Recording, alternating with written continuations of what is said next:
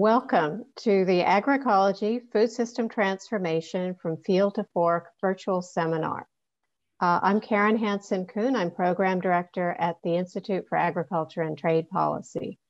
We have a really exciting list of speakers today. Um, I want to start with a few housekeeping notes on, on how things will work. Um, before we begin, um, look at the Zoom webinar control panel hovering near the bottom you can ask questions of the presenters at any time through the presentation by typing your questions in the Q&A box uh, located on the panel and then selecting the send button. We'll get to as many questions as we can, so please send your questions as they come into you. You can find the interpretation button uh, in the webinar control panel as well. It looks like, it'll look like a little globe at the bottom. Uh, we have French and Spanish translators on the webinar, so feel free to select the appropriate language. Did the interpreters want to add something here?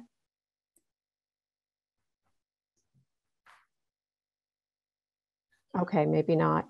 Um, also, this webinar is being recorded and will be available on IATP's website after the fact.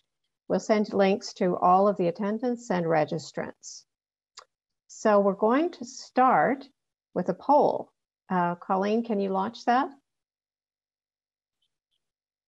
Um, so we'd like to see where people are joining from and what your relationship is to agroecology. So we're launching this poll uh, to share as we get started. So uh, to get us started, the dominant food system is exploitative and extractive, but examples from around the world demonstrate that a more just and fair food system is possible. Agroecological approaches have evolved to offer a set of guiding principles that can help transform our food systems to create more just, more socially just, diverse, holistic, and sustainable food systems that better respect and benefit cultures, the environment, and people engaged at every level. Agroecological approaches are anchored in human rights, rooted in culturally and ecologically diverse knowledge systems, and have the potential to build the community resilience necessary to deal with both the forces of climate change and corporate control. Yet there have been roadblocks to advancing agroecology globally, and I will speak more slowly. This virtual seminar is sponsored by the Institute from Agriculture and Trade Policy and the Coopération Internationale pour le Développement et la Solidarité, CIDSE. IATP is an NGO working at the intersection of policy and practice to ensure fair and sustainable food, farm, and trade systems. We're rooted in research and coalition work, advocating for policy in the public interest at the state, federal, and international levels. CIDSE is an international family of Catholic social justice organizations working for transformational change to end poverty and inequalities, challenge systemic injustice, inequity, destruction of nature, and promote just and environmentally sustainable alternatives. CIDSE brings together 18 member organizations from Europe and North America, and its international secretariat is based in Brussels. So now I think uh, Colleen will be sharing the results of the poll. Can you post that? I don't. There you go. So we have people from really all over the world. So let's get started. So our first presenter today is Sophia Murphy, Executive Director of IATP.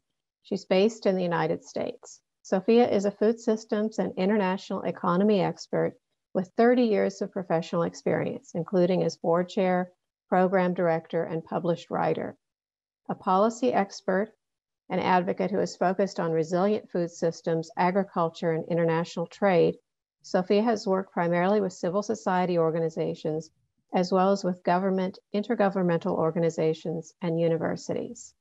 Sophia, can you start us off?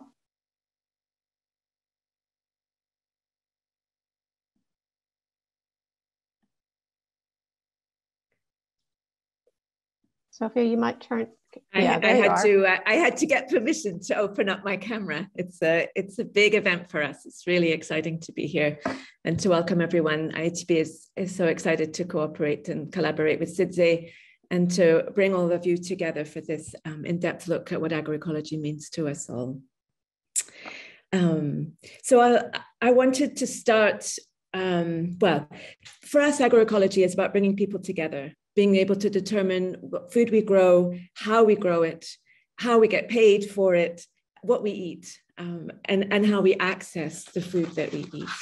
It's about a whole food system, in other words, um, and understanding the connections and the relationships uh, uh, um, that are built into the food system. So for IATP, the entry point really is, um, has always been about that question of food distribution and the relationships among communities, both how to exchange knowledge in producing food, but also exchanging the food itself and um, exchanging food practices so that it's not really a single um, method or a kind of list of instructions that defines agroecology, but really a kind of philosophy and an approach to how we think about um, food as a whole. I first heard about agroecology probably 20 years ago or so when I was first working at IATP um, in an earlier iteration. And it was the work of Miguel Altieri that I read. And the insight I took away from the first lesson in agroecology was the idea that you see um, the food potential in a whole landscape rather than the yield in an individual plant. And I think we'll be coming back to that a lot throughout the day. This, this idea of understanding an, an interconnected place as opposed to focusing on a specific um, technology or plant um, or technique. And it was about 20 years ago as well that I first met the farmers who organized as Masipag, an organization based in the Philippines that was working with farmers to improve their livelihoods by reducing their dependence on external um, inputs and um, reducing their environmental footprint at the same time. And the example that the organizers from Masipag gave me was to talk about the traditional um, flooded rice paddies in which farmers often would keep fish in order to feed the household. And that with the advent of green revolution seeds and hybrids, that fish um, cultivation became impossible because the water was poisoned and would no longer sustain life. So that in order to increase the rice yield, you'd actually lost the source of protein. That was an important part of the nutrition for the households and farm families in that community and I think that that's another um, example for me that that exemplifies what agroecology is about: how to do more with what you have by thinking about it as a whole. And all those years ago at IATP, we were involved in a series of projects that we didn't call agroecology, but that I think you could you, you could see where agroecology was influencing the thinking and the understanding, whether they were arguments with the US Army Corps of Engineers, about um, how to manage floodplains or um, arguments with the chemical companies um, that their use of genetically modified seeds was going to generate a generation of superbugs and superweeds that in the long run were going to um, undermine the very production that they were supposed to be enhancing, or arguments about the control of fertilizer use and the damage that excess fertilizer was doing to the water system and to industries downstream, where marine populations were, were being choked to death effectively um, by the effects of, of nitrous oxide, um, excess nitrogen in the water.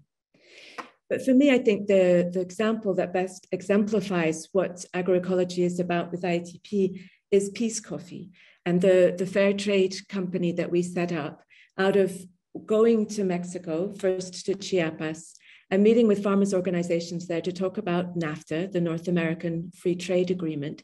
And we were interested to, to, to think about cross-border experiences and what trade policy was doing to the domestic agriculture um, policies that governments were implementing.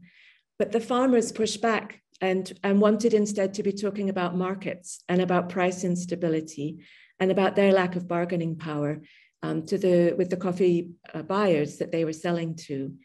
And out of that experience, Peace Coffee was born, a, a, a for-profit serving a non-profit, which is initially IATP. Peace Coffee is now an independent company, and a fair trade model that was rooted in these issues that were determined by the farming communities that we wanted to collaborate with.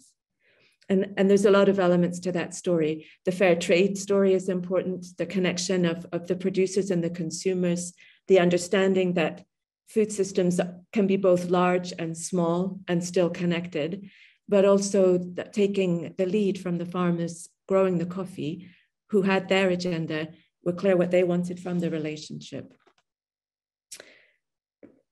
So I think that in those 20 years, there's a lot that's happened. I, I, I think switching gears to think about where we are now and wanting to, to recognize first a lot of the work that's gone in at the multilateral level to define agroecology um, for us as a global community, and then leaving the space for the, for the local um, for the local definition and ownership of what agroecology is all about we're involved at the moment in a bit of a national struggle with the United States, US government setting up um, an alliance of what it calls, you know, sustainable production, which is trying to promote a lot of the technologies that agroecology has emerged to resist, insisting on pesticide use, fertilizer, um, inorganic fertilizers, hybrid seeds, genetic engineering. And in, and in marshalling the arguments about why that's a problem, and in thinking about the arguments that we've had at the multilateral system, trying to get governments to adopt principles of agroecology so that we can ground what we think agroecology is in an agreed approach. I think that we've moved the whole discussion to a, to a new level and to an important place where we're able to take um, strength from what we share internationally and at the same time give meaning to agroecology where we are and I think uh, if, for me, COVID has been a really important lesson for us all for, for what's wrong in the food system, much of which we would have been saying um, and pointing to for a long time, but also for some of the opportunities perhaps that, that as a movement we can, we can build on and um, exploit. I hope that we'll hear more about some of that um, today. I think that the, the COVID, I think the COVID challenge was um, in some ways an unexpected thing because it it didn't it was a food it was a food insecurity challenge that didn't start with a lack of food. There was plenty of food in the supply but we saw the ways in which the food system was was inappropriate and maladapted to deal with the shock. And so we had a lot of food and then an extraordinary amount of waste. And that was especially true in north america where half or more of the food that we produce is geared for food that's consumed outside of the home so once we were consumed to our homes, we had to redefine what it meant to have food and to have enough. And we saw there was enormous waste from things like the potatoes that were destined to become French fries or the chicken that was designed to become chicken nuggets. Those foods were no longer being consumed and there was no place for them to go. And that other kinds of food and manageable quantities like flour or yeast in order to make bread, those were hard to come by. And I think that it was a lesson both in resilience and in redundancy. And a, a, focus for a lot of us working and thinking about agroecology is on medium and long term outcomes. We're trying to flatten, at least, the trajectory of climate change by reducing um, greenhouse gas emissions. We're trying to protect biodiversity and, and species survival. But COVID forced attention on some very immediate problems in our food system that are very important to agroecology as well. Most especially the vulnerability of, of workers in the food system, their lack of rights, their, their lack of basic worker rights, their lack of human rights, and, and the price that they paid in their lives in exposure to the disease and the exposure of the, the kind of living conditions that they have was an, a really important part, I think, of understanding where the food system is vulnerable and where thinking about agroecology principles would lead you to a different, a very different outcome. I think we also saw how the efficiencies lauded by the market model that we have in place generates enormous inefficiency and waste when there's a lack of um, ability to respond and react. And so I think that and, and the third thing I want to say is that we saw what we can do for food security and for, and for household well-being by putting a guaranteed income in people's hands. And by breaking the dominance of industrial food systems, forcing open spaces that a lot of the local food systems were able to respond to when the larger um, concentrated system started to break down. And that we, we saw how that could generate less waste overall in the end. And I think we see possibilities to redefine efficiency because we, we want to have an efficient food system, but we have to reimagine um, what that would mean. I think that the principle from the high level panel of experts, the HLPE acronym that we're going to hear a lot today, I suspect, they had a principle called synergy. And I really think that that word is a powerful word for what we're getting at, that synergy doesn't mean doing away with all excess, but it means, I think, a certain adaptive capacity to respond to, to the situation that we're in. I think that I would maybe emphasize two other principles in closing that for IATP are crucial. The first is democracy. And, and back to that fair trade conversation and what it meant for us to go to Chiapas, to be listening to farmers' organizations there and bringing that together with the work we were doing with farmers' organizations in the United States. How do we engage um, with local voices and give local communities expression? And how do we create a dialogue among the local decision making structures so that communities are able to work together and, and work out some harmony with what they are? So that IATP is really interested in that level of democracy that agroecology promotes that looks over the border, if you like, and outside of the community into those who are connected to us through the ecosystem and through the food that we share. So democracy is really important to us and health, the overall system, ecosystem health, and the health of those um, that are eating in it. So welcome everyone again, and, and thank you for this chance to, to be with you today. Thank you, Sophia. Um, so unfortunately, our next speaker, uh, Michel Pimbert, who was supposed to join us today, had a last minute issue and was not able to join us. But very fortunately, Magdalena Ackerman has kindly agreed uh, to join us and give a presentation on the depth of agroecology, how it's anchored in rights-based approaches. Magdalena is from Argentina and is with the Society for International Development and is based in Rome. She's part of the coordination committee of the civil society mechanism of the Committee on World Food Security on behalf of the NGO constituency. She is a member of the co-facilitation team of several CSM working groups and a key member for the working group on agroecology. Also, I would really like to encourage people to enter your questions in the Q&A section.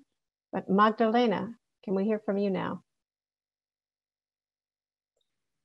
Thank you so much, Karen, and thank you so much to the organizers for for inviting me to to this event. And um, yeah, I don't think I will be able to transmit the wisdom of uh, Michel Pimbert, but I hope I can at least uh, give an insight uh, on on agroecology and maybe particularly speaking from a youth's perspective, no, uh, and particularly in the crisis we we are now facing, uh, the climatic and environmental crisis we are facing, and how agroecology and um, yeah, particularly for the youth, uh, is providing a response uh, to uh, adapt uh, to climate change and to reverse it as well and also to regain um, our roots uh, to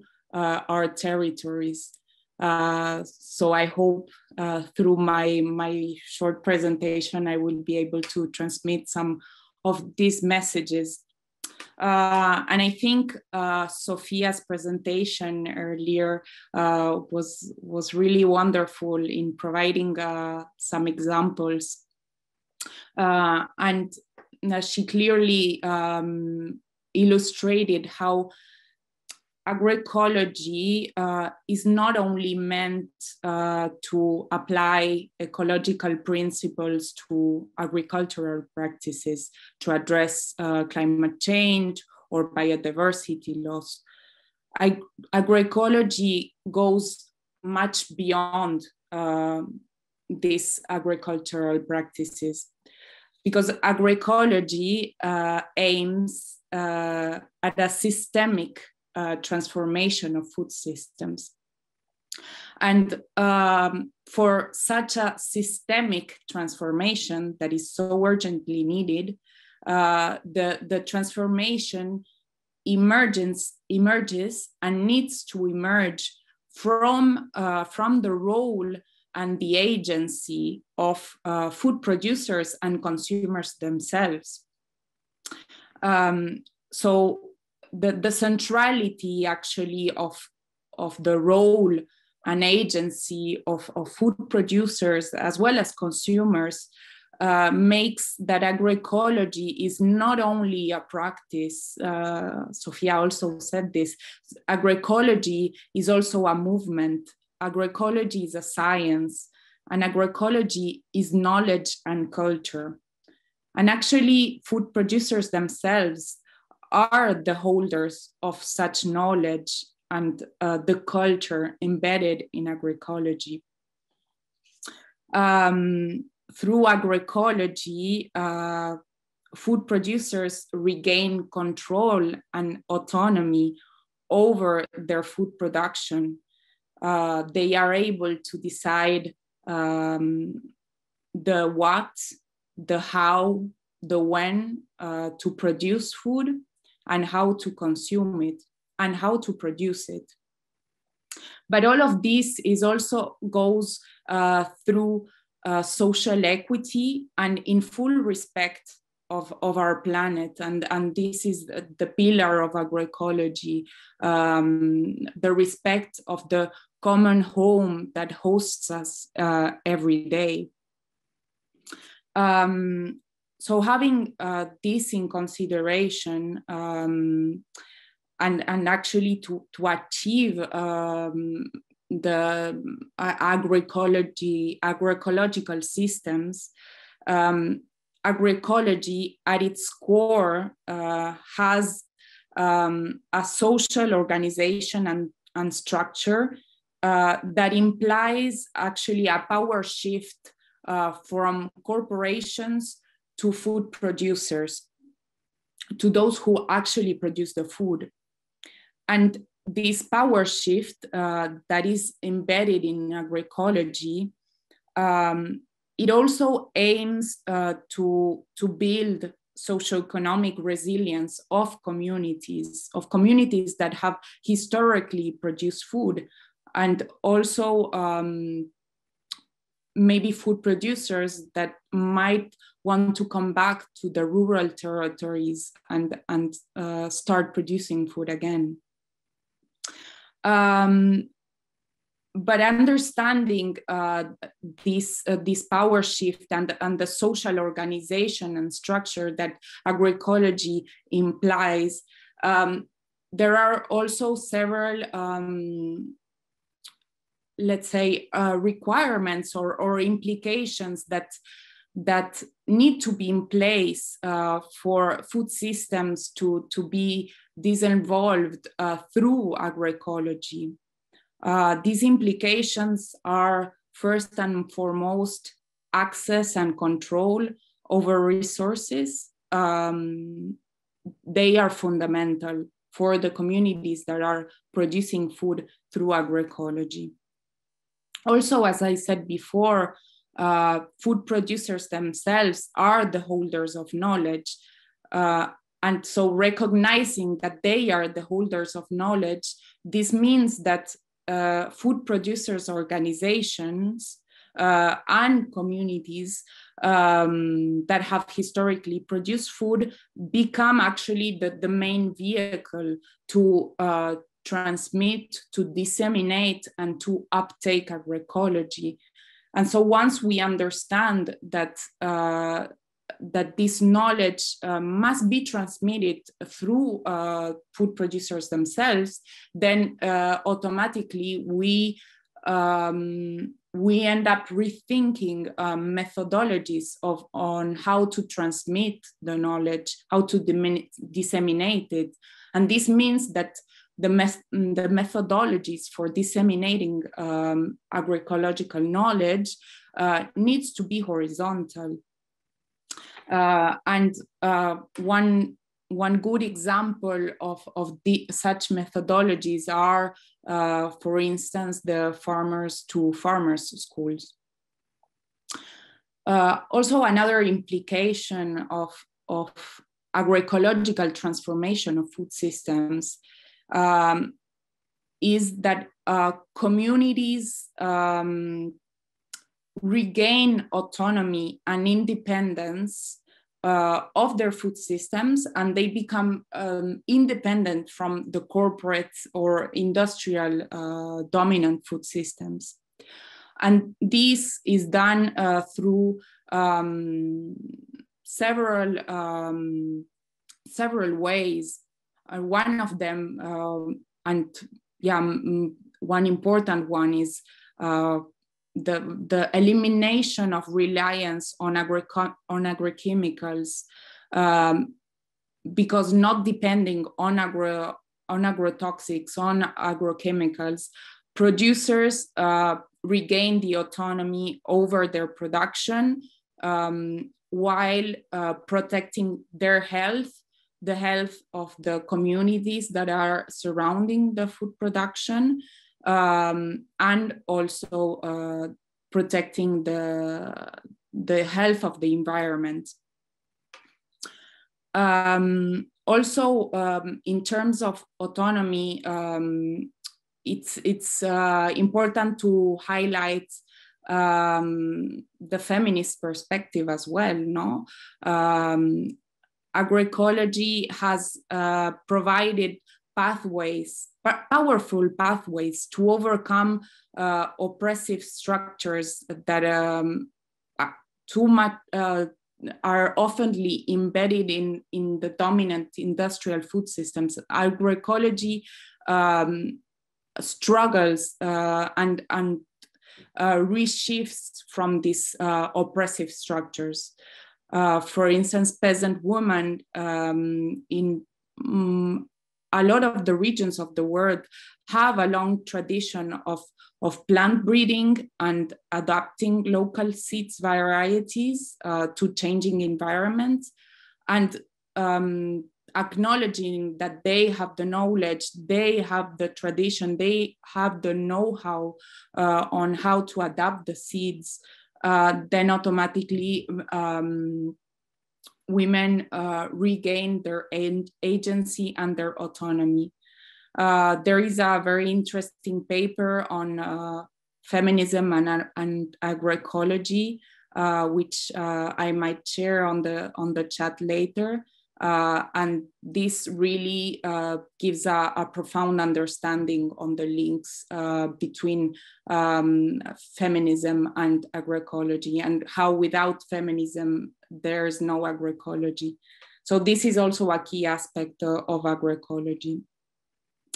Um, and um, last uh, in terms of autonomy is the, the and i think um, sophia was also giving this uh, in great detail was the autonomy of from global markets no? Because agroecology uh, the preferred uh, ways of distributing selling uh, or exchanging food uh, the preferred ways are through short uh, circuits um, and such as uh, local markets or for instance uh, community supported agriculture uh, that actually create a direct link between producers and consumers um, themselves.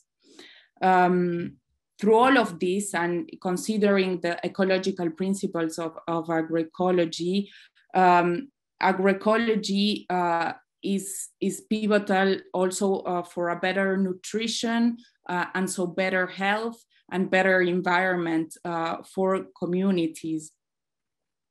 And um, so uh, concluding now um, maybe the concluding message but it which is also the basis no is that uh, all of these implications that i have been mentioning are um, actually embedded in the struggle to, to fulfill to protect um, and to respect uh, human rights. Um, I was uh, talking about women's rights. I was talking about the right to adequate food, the right to land, the right the rights of peasants and uh, other people working and living in rural areas, right to health, right to a healthy environment as well, and so on. Um, because actually, uh, and it, as it was mentioned in the beginning, agroecology is anchored on uh, the human rights framework. And so agroecology and um, the fulfillment of, of the human rights uh, framework in all its indivisibility uh, become then uh, the pillar for food sovereignty that we um, so urgently need. So thank you so much. I'm kind of liking this video function. People know it's time to, to close up. Um, thank you so much um, for that and also for doing it with such short notice. So we're going to have another poll. Uh, this one, we're going to ask people to finish the sentence, agroecology is, and then uh, we will share the results shortly. Um, there you go. So you can vote on whichever one makes sense to you, and we'll share the results soon.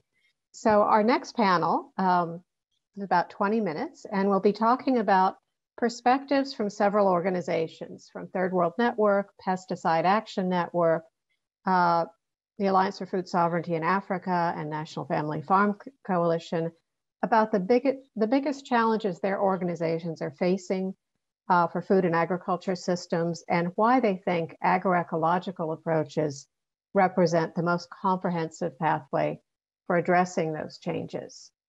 Um, so our first presentation uh, will actually be a video presentation. So I'll let um, perhaps Colleen can post the poll results shortly, but just to introduce it, uh, we'll be hearing from Lim Li Ching from Third World Network, who unfortunately could not be with us today, uh, but sent a video for us to share.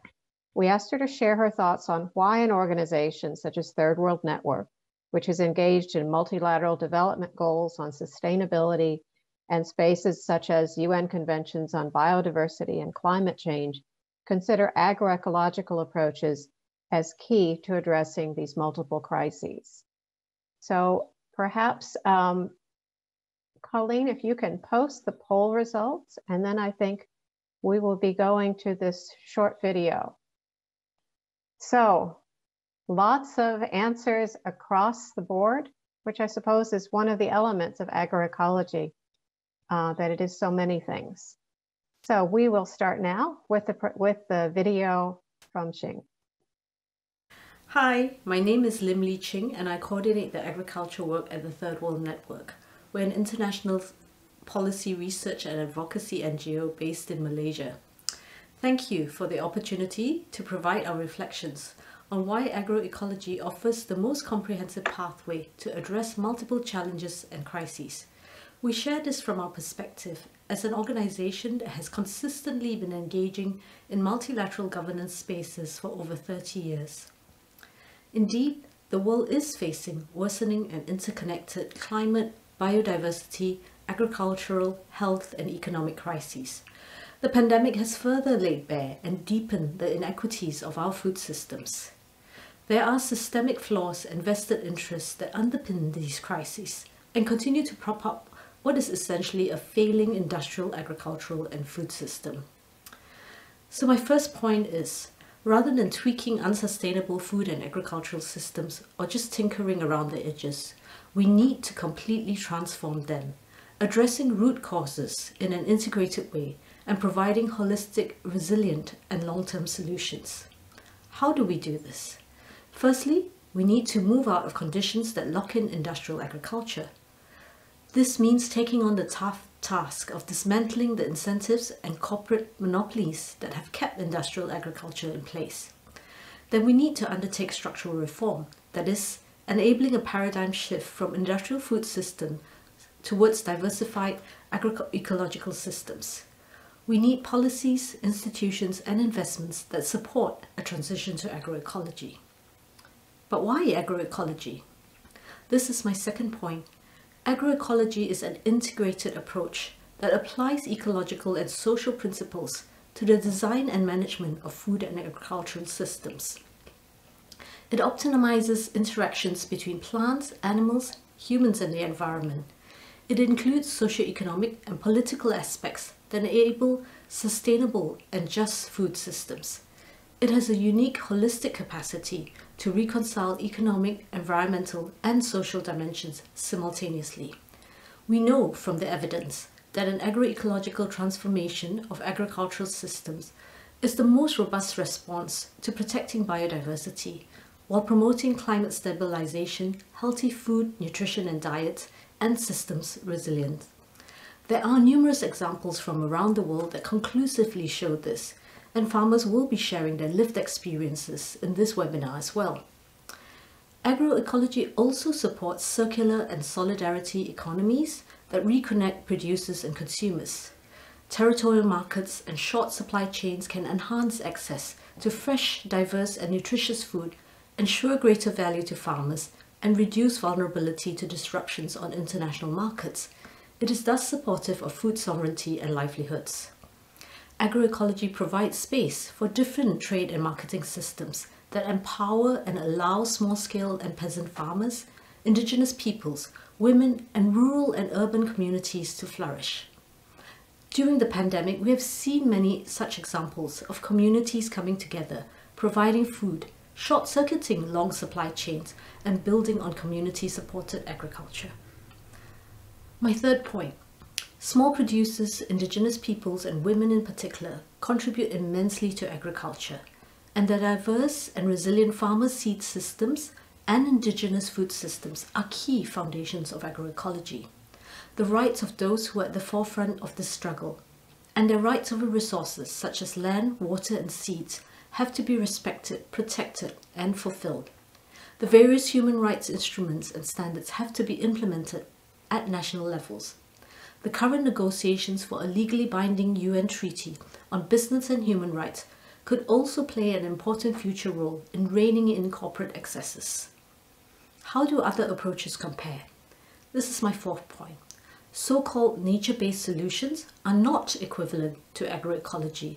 They do not incorporate the full range of transformative changes that agroecology engenders, from ecologically sound practices to social and economic justice, to respect for human rights, agency, and empowerment. Instead, through carbon offsets to mitigate climate change, so-called nature-based solutions facilitate the appropriation of forests and lands, threatening to dispossess the indigenous peoples, local communities, and small producers who are the true stewards of the planet's biodiversity. Finally, we need to operationalize agroecology's principles of respect for farmers and traditional knowledge, and to enable deep changes in governance to foster equitable participation, empowerment and agency of peasants, women, fishers, livestock keepers, farm workers, those who produce and supply our food. Thank you very much.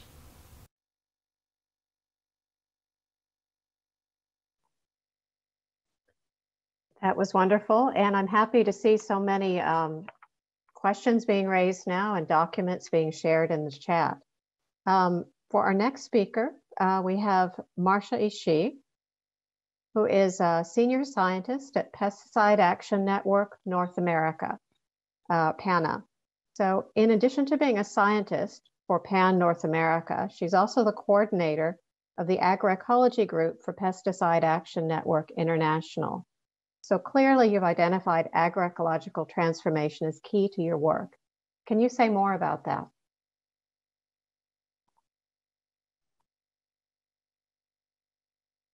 Hi, yes, thank you so much, uh, Karen, and welcome everybody. Thank you for this opportunity to be with you. I am going to share, oh, okay. Um, all right, great. Well, uh, I'll begin by introducing PAN. PAN is a global network founded in the Global South and dedicated to ending the devastating health, livelihood, and ecosystem harms posed by chemical pesticides. And yes, absolutely, we see agroecology as the most comprehensive and powerful solution to the pesticide problem. PAN has been fighting the harms of pesticide dependent agriculture for over 40 years. Unfortunately, the reality today is that pesticide poisonings continue to affect millions of people every year. Um, next slide.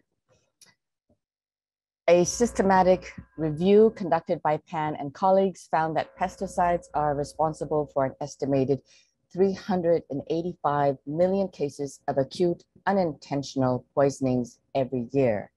And many of these have also been linked to an increase in chronic diseases such as cancers, um, developmental disorders, hormone system disruption, or reproductive problems. You can go ahead. 10 years of community monitoring by PAN UK show that poisonings are widespread and prevalent around the globe, affecting from 40 to 80% of farmers and workers in the countries surveyed. Next slide. The pesticide problem persists because, simply put, pesticides are very big business. Analysis by PAN partner Public Eye, shown here, revealed that CropLife International, this is the, the global lobby association of the major pesticide multinationals, reaps over one third of its income from the sale of highly hazardous pesticides. Next slide or advance. It is in this con, actually the previous slide. Okay, um, it is in this context that UN experts have called these pesticides a global human rights concern because of their catastrophic impact on the environment, human health, and society as a whole. These UN experts have identified the sale, export, and relentless pressure to use chemical pesticides as responsible for the violation of numerous human rights. And these include the right to health and to a healthy environment now, to safe working conditions, to adequate food and clean water, to a dignified life, and as well, in particular, the rights of indigenous peoples and also of women and children not to be exposed to or have to use hazardous pesticides. To defend these human rights, we need a transformation of the agri-food system and also of the political and economic structures locking us into the corporate industrial model. Indeed, 40 years ago, PAN's founders declared that the pesticide problem was part of a larger structural problem. And they specifically named corporate power and influence over our governments, as well as pressure from the international financial institutions and so-called development institutions. Next slide. Today, we are seeing even more corporate overreach at the UN, the United Nations, where the UN Food and Agriculture Organization last year announced plans to formalize a partnership with none other than CropLife International, while simultaneously backpedaling on its commitments to agroecology and we invite you to join us in our campaign to block that partnership from moving forward. In contrast, what we know is that building a movement to end the harm of pesticides requires global organizing to demand systems change. We know from our experience that it is, it is never enough to simply replace one bad pesticide with another one that may turn out to be harmful in many other ways, while leaving intact a fundamentally flawed system that depends on the continuous exploitation of land and labor. Next. Agroecology, on the other hand, as we've been hearing, with its ecological, social, and cultural dimensions, its integration of knowledges and sciences, and its political analysis grounded in equity and justice, offers not only a way out of the trap of pesticide dependence, but also a way towards building sustainable and equitable agri-food systems in which communities, not corporations, are at the center of decision-making. That is why we put forward agroecology as the solution to pesticide harms in all of the spaces where we are active as a network, whether in negotiating international policy agreements to phase out pesticides in Geneva or in Rome, or in calling for the redirection of public resources to support farmers' transitions at home, or in promoting workers' rights to define the conditions of their work. For PAN, agroecology, or we might say a plurality of agroecologies, is what can enable us to move towards a pesticide-free and liberatory future. Thank you. Thank you, Marcia. That was great. Um, so our next panelist is Million Belay, who is the founder of MELCA Ethiopia and the general coordinator of the Alliance for Food Sovereignty in Africa, or AFSA. He's joining us today from Kampala, Uganda. Both she and Marcia brought up the issue of rights. That's kind of central to the issue, concept of food sovereignty. So from AFSA's perspective, can you tell us how you see agroecological transitions as central to your work? Uh, thank you very much, uh, Karen. Thanks for inviting me. Um, there's no light in Kampala now, so the room can be getting darker every minute. Um, so in uh, 2008, when we started the Alliance for Food Sovereignty in Africa, um, that one thing that we have agreed is to create a single and loud African voice on an issue that matters to us all. And the issue that matters to us all is agriculture uh, because over 70% of our people depend on agriculture for their livelihood, and agriculture is a main economy for uh, most of our, uh, our countries. Uh, then question is what kind of agriculture? As you know, there are competing paradigms in, in, in agriculture. Uh, on one hand, you have the green um, uh, the Green Revolution agenda, the industrial agriculture agenda, focusing on uh, agrochemicals, high yielding varieties, and reorienting um, agriculture to, to market, to the needs of to the vagaries of market, and all that. And I'm not going to go into that direction. But um, um, when we started to focus on agroecology around 2013, the level of understanding of agroecology among uh, members of AFSA and generally was not that huge and that deep. So we wanted to understand uh, what agroecology is, but we went to explore whether agroecology would answer uh, some basic and important questions for us. Questions of productivity, questions of health, questions of nutrition, uh, questions of the environment. You know, we want uh, an agricultural system who, who is friendly to the environment questions of cultural appropriateness. You know, that African is um, cultural hotbed, as you all know, and questions of uh, human rights and the right to food. So we did uh, collect cases from all over Africa. And uh, the cases, you know, when we do the meta level analysis of all these cases, we could see that, you know, agroecology ticks all of these boxes. So agroecology is very much important. And as our name implies, we are the Alliance for Food Sovereignty in Africa. Um, that's why we are also very much interested in the social movement side of the agroecology. Um, because you know food sovereignty politicizes the, the food agenda. It talks about cultural appropriateness of food and addresses gender issues um, and in the, the, environmental sustainability issue and, and food security does not address all this. So currently where we are going is uh, exploring um, spaces to really help, help us to transition to agroecology in Africa.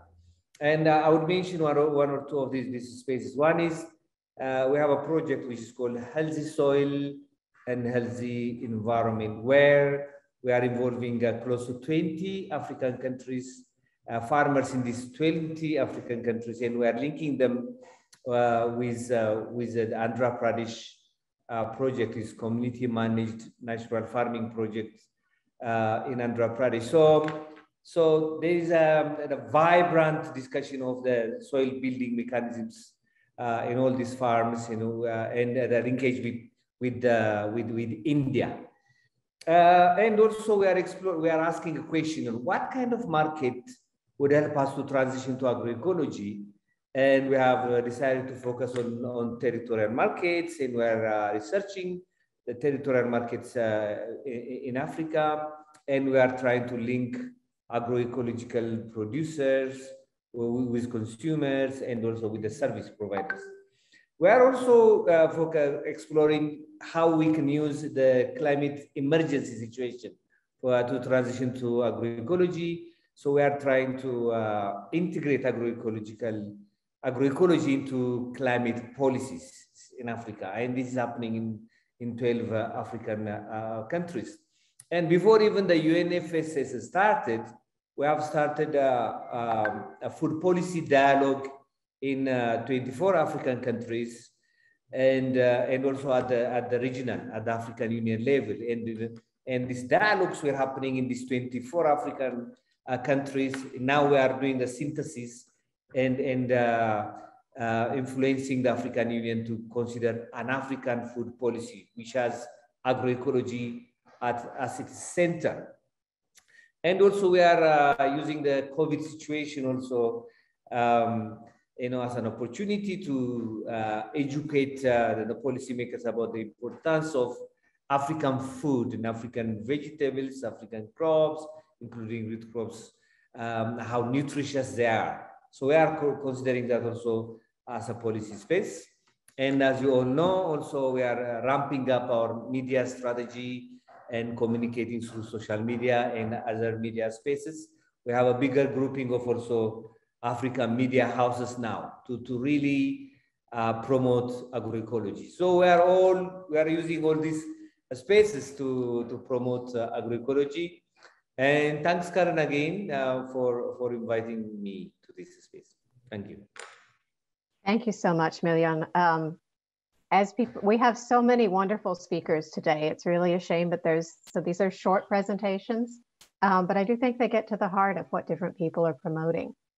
Um, we had hoped to hear from Jim Goodman from the National Family Farm Coalition in the US next, and it seems like there may have been some mix up. So perhaps we'll hear from him later, um, but I think we'll just go ahead and move on, unless someone tells me he has appeared. Anyway, let's move on um, with another poll.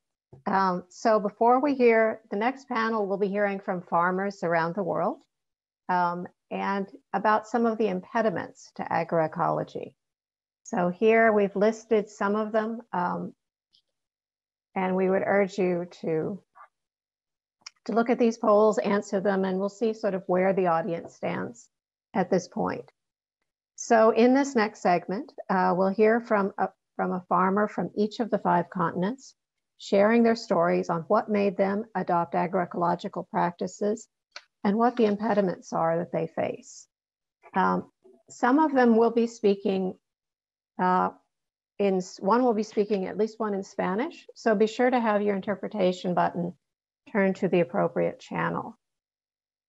Um, so we will start soon with Busisiwe. Um, Colleen, have people voted or should we give it a little more time? There we go. Just a little bit. Oh, there we go. Oh, you popped it up. Um, I mean, of course, all of these issues are important, I would say. Um, so thanks for that. Um, so next, um, our first farmer is Busisiwe Mgangxela. Uh, she's an organic agriculture farmer using agroecology principles to produce nutrient-dense, sustainable food.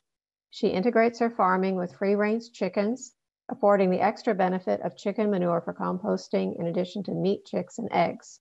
She's a member of the South African Organic Sector Organization uh, based in Eastern Cape and is a member of the Participatory Guarantee System, a quality assurance system.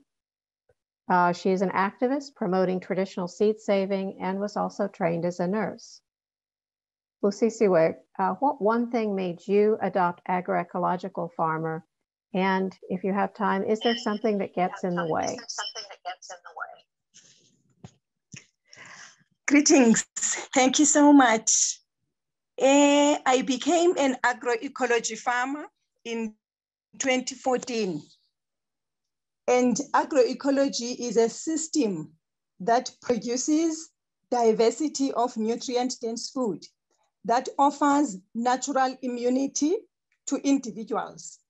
And as a previous health practitioner, a nurse educator, I know the value of good nutrition in maintaining healthy societies and the diversity in choice of food according to cultural preferences that is embedded in care, health, ecology, and fairness. The lost culture in agriculture is restored in agroecology. I am an agroecology farmer. I am a waged farm worker in my farm, and I am a consumer of my farm produced food. And one thing that gets in the way of agroecology is inadequate information.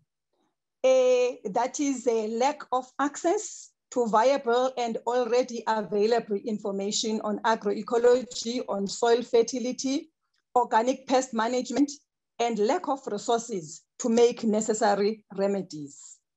Thank you.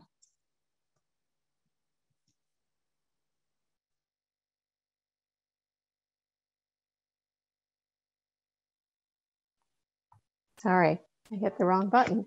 Thank you so much for that presentation. Um, next, uh, we'll hear from Jason Lindsay, um, who is not only a farmer, but also works in the Southeast African American Farmers Organic Network in the United States. Uh, SAAFON is a network of small and heritage Black farmers uh, based in the US, and he works as a resource coordinator. A former teacher, his farming journey began a decade ago with a backyard garden, a passion for justice, and a connection to his agri agrarian heritage. So, Jason, can you tell us your experience of shifting to agroecology, or what you call Afroecology, and what are the difficulties you've faced or continue to face as a beginning African American farmer? What is one thing you'd like to see changed?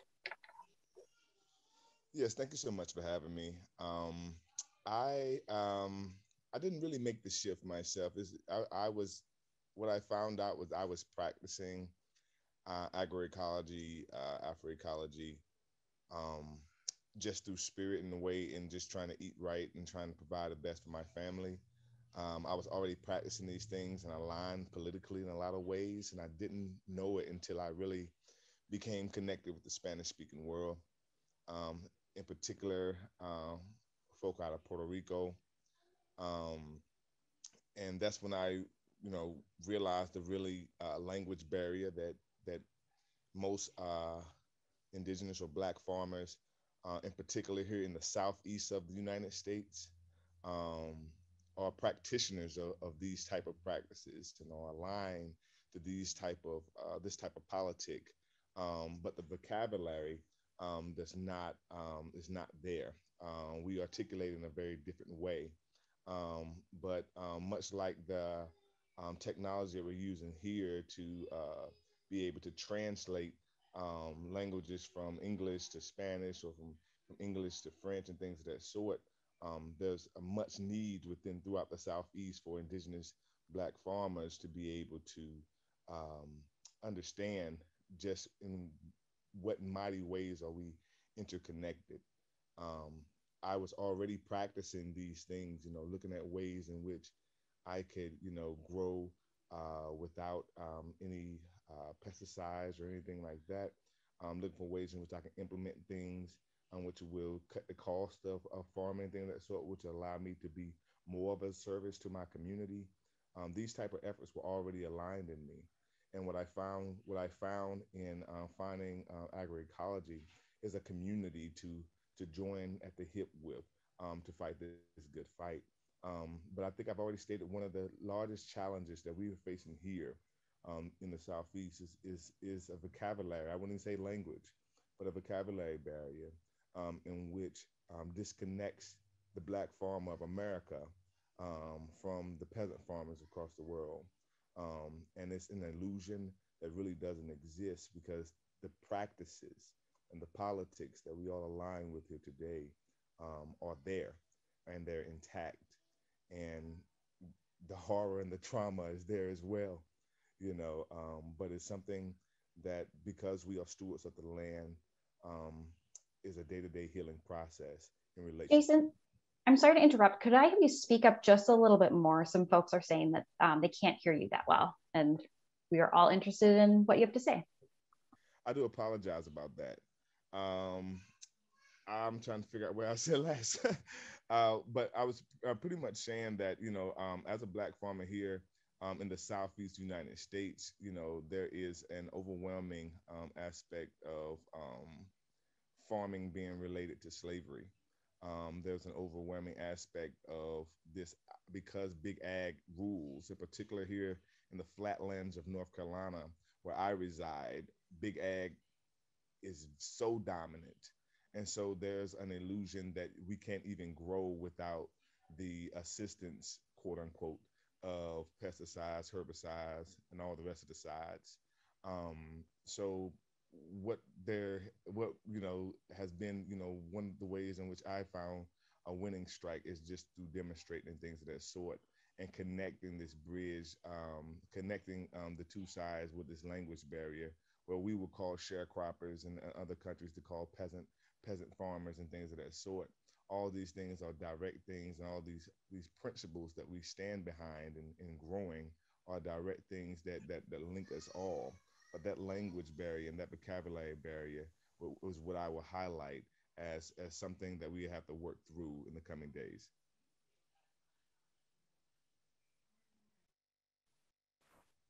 Thank you so much and for keeping to time as well. Um, so our next panelist is from Europe. Um, we'll hear from Vincent Delobel, uh, who is a certified organic goat farmer based in, uh, based in Belgium. He describes his farm as an autonomous family farm, producing all the feed they need, processing all their milk into soft and hard cheeses on the farm, and selling most of the products directly to consumers. Vincent was involved with the ECVC, European uh, arm of La Via Campesina, when they were working for the creation of the UN Declaration on the Rights of Peasants. Can you tell us why you and your family decided to shift to agroecology? And if you were to talk about one key change in support of agroecology, what would that be? Hi, thank you. Thank you very much. I hope you can hear me well. Um, yeah, 25 years ago, uh, what brought my family to change his uh, yeah farming practices is when we understood that the health of the soil of the plants, of the animals, and ours were just one. And actually, we had yeah health problems with um, intoxication, and also I was born with uh, malformation. And many um, farmers and their families are paying uh, yeah a bit uh, huge uh, damage um, caused by pesticide um, exposition here in Europe, and it's un um, unspoken and unstudied as well. And so, but individually, in the individual uh, farm families, um, health is the major issue that brought people to change their practices. And yeah, on the side, we had uh, important uh, soil compaction and erosion problems, uh, weed resistance to herbicides, um, the uh, increasing fragility of the health of all high performing performing animals. And yeah, but it's only when it hurt human health that the yeah the, the mind change happened and the, then the, the farming practices changed. Um, eventually, it questioned our use of pesticides, but more broadly speaking, our uh, dependence on agro industries up and downstream the farm. So we changed our practices to seek for more feed autonomy uh, producing our own feed on the farm instead of importing it, uh, reducing tillage, planting more trees, increasing soil organic matter, um, saving farm seeds, processing and selling our products uh, ourselves which, through uh, fair chains and also welcoming children and students on the farms. Um, now, uh, at the moment, um, it has been recorded that more than 70 Europe, 70% uh, of the European farmers now engage spontaneously in one of these, um, let's say, more peasant-like farming practices. Um, the key uh, challenge, I think, um, and in my opinion, to go forward with agroecology is know that we have to globalize rights, rules, and protections mechanisms on, along the food chains. Um, the dominant system made us slaves. Uh, we, we do, as a European producer, operate on um, distort, biased global food markets and chains uh, that pushes us uh, as, as a producer to produce more and more, to earn less and less, and to have less and less sustainable practices. In the south of Belgium, here where I live, more than 25% of farmers have a negative income. Um, so it's very important to know that it's not because we are big producers that we are earning a decent income, and that's absolutely not the case. Um, and yeah, through food, the dominant system made us slaves uh, on different sides of the planet. And so uh, our motto is that there is no free citizen on an empty stomach, nor there is a citizen fed in a healthy and sustainable manner without a free peasant. So we really have to claim that agroecology and peasants' rights are the warrants of democracy. Um, the global peasant movement, Via Campesina, we fought uh, to make um, our fundamental, fundamental rights to seeds, land, water, knowledge, but also a decent income, health and safety at work, um, recognized on a UN declaration. And we, we had great support from a broad coalition of NGOs, but also in the public opinion as a, um, this issue really talked to many, many people, not only it, it, as it go much beyond food. Um, so the challenge for me and for such a coalition of uh, organization, I think, is to just continue struggle to make uh, human rights and peasants' rights prevail on international trade agreements. Um, in law, it is, but in fact, it is not. And we have to fight for this to make it prevail. Thank you. Thank you so much. Um, our next panelist is Marcela Calderon. Her presentation will be in Spanish, so if you need translation, be sure to uh, click that box near the bottom. Uh, Marcela Calderon is an organic farmer who lives in Baigorrita in Buenos Aires province in Argentina. She works with her two brothers and her mother and produces agroecological wheat, processes their wheat flour agroecologically, grows vegetables and fruit trees, and raises sheep all through agroecological approaches. Marcela, what one thing made you and your family adopt agroecological farming? And if there's something, one thing you could highlight that gets in the way of practicing agroecology, what is it you would like to talk about?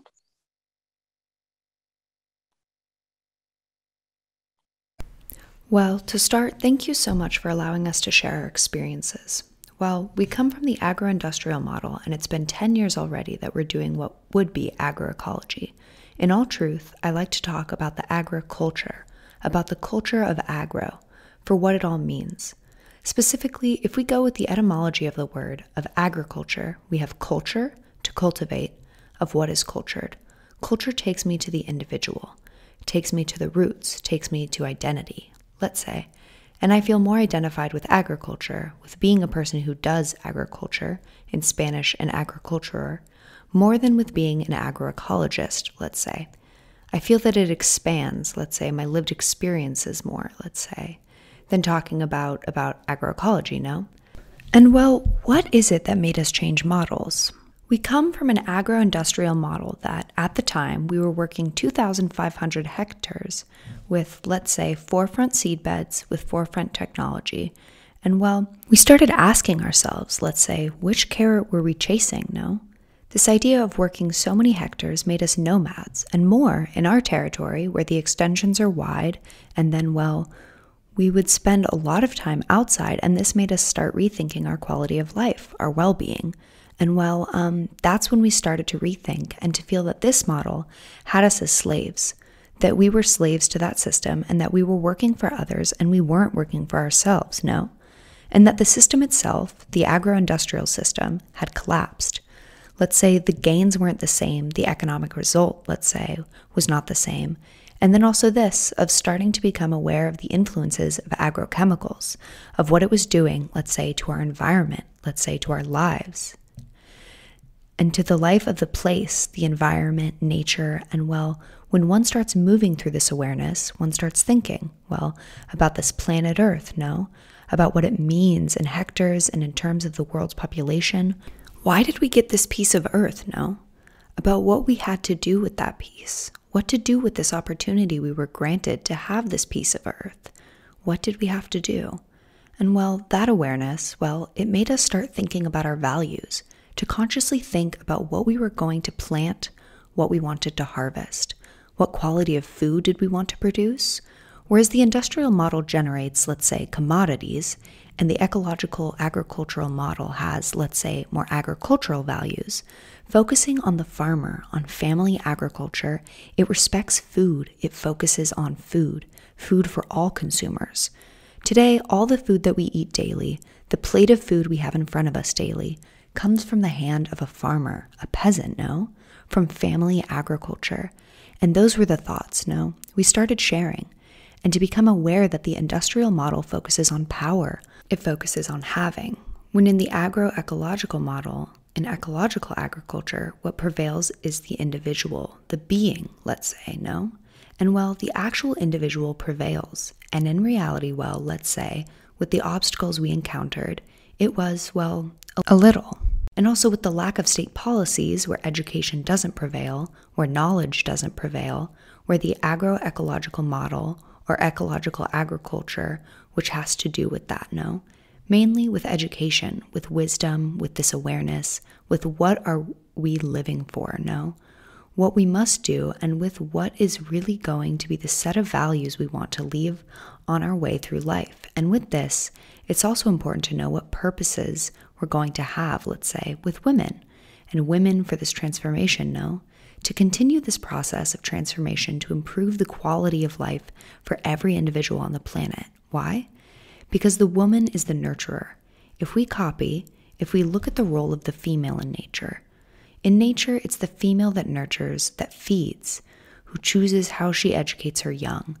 And well, I feel that's the role we have as women, as women farmers. It's about what quality of nutrition do we want for our children, our families, our environment, not only in food, but in wisdom, in having beings prevail, having knowledge prevail, having flavors prevail, no? In the importance of choosing the food, no? That we're giving them, the quality of the food, no? The quality of the food. Food that is free of chemicals, of synthetics, and all that encompasses that handling, that manipulation of food. And I believe I will close with these two phrases that agriculture needs to be recognized as an essential task for the community of the life of the land and the day that the work of those who work the land, which is the farmer, is empowered. And that, let's say, is it's recognized as the work of the future. The world will begin to change. And for now, thank you very much. Um, we have uh, one last speaker on this panel who's from the Philippines, uh, Nong Eddie Sasi. Is he there? If you can turn on your video, I want to make sure you, there you are. Okay, I see you popping up now.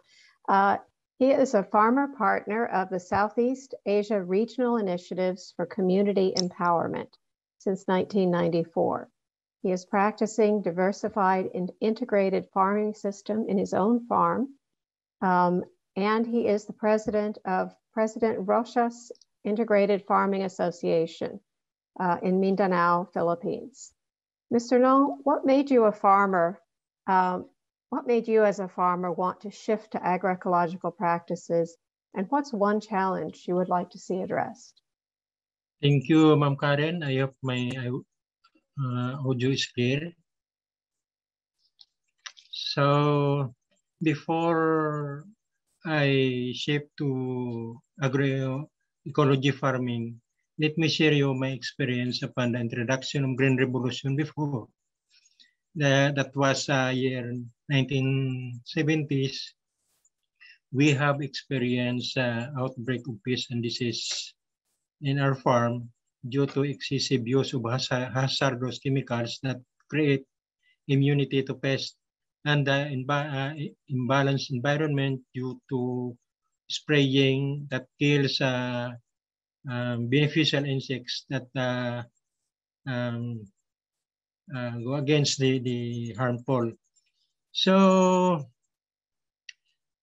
before I shift to agroecology farming, CRISE um, conducted training to us farmers here in the Philippines regarding the ecological pest management, whereby um, they teach us how to uh, control pest and disease through cultural control and biological control.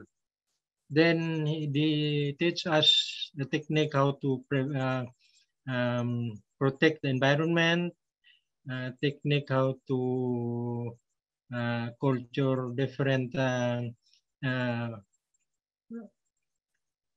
um, faces as a one of our uh, in, integrated in our farm, the diversified and integrated way of farming. So they also teach us how to breed.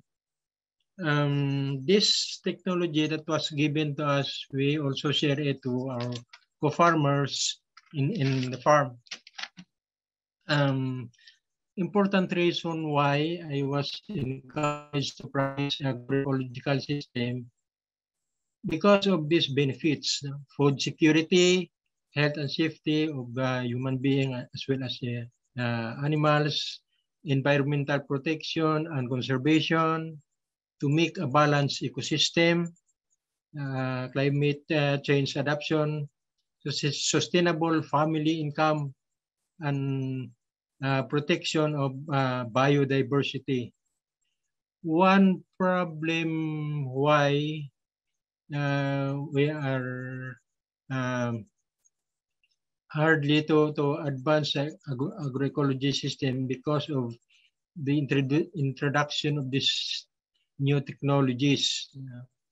Um, lack of government support uh, on organic and diversified farming. Example is materials, the training and organic farming uh, technology, extension service related to, to agroecology, uh, inappropriate policies that favors large private companies and does not recognize farmer shade system and the use of GMO. So uh, agroecology system is of great uh, help to us. Uh, before we practice monocropping, then we experience this outbreak of uh, pest and disease. So we uh, have a negative income. So thank you again for this opportunity. Thank you so much. Um, so we will be going to our next and final panel today, um, discussing some of the impediments to agroecology and what's happening to support the advancement of agroecology with an eye to policy. Uh, so our first speaker is Nina Moeller. She is Associate Professor at the Center for Agroecology, Water and Resilience based in the UK. She's interested in a wide range of transdisciplinary approaches to agroecology, food systems, and environmental challenges, uh, especially but not limited to subsistence, livelihoods, and agrarian change. Uh, she, along with colleagues from Agroecology Now, were the lead authors in a recent study on development finance for agroecology.